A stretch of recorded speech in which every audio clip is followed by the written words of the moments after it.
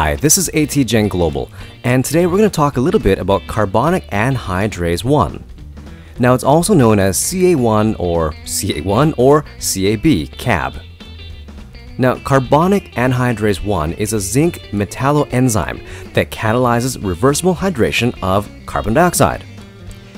It's also a protein that is fundamental to many biological processes, such as cellular respiration, calcification, acid-base balance, bone resorption, and the formation of aqueous humor, cerebrospinal fluid, saliva, and gastric acid. Now, if you're interested in getting some carbonic anhydrase 1 for your research needs, you can get pricing and ordering information by visiting our website, which is atgenglobal.com. Or you can also email us at sales at atgenglobal.com. Thank you very much and hope to be able to help you with your research needs.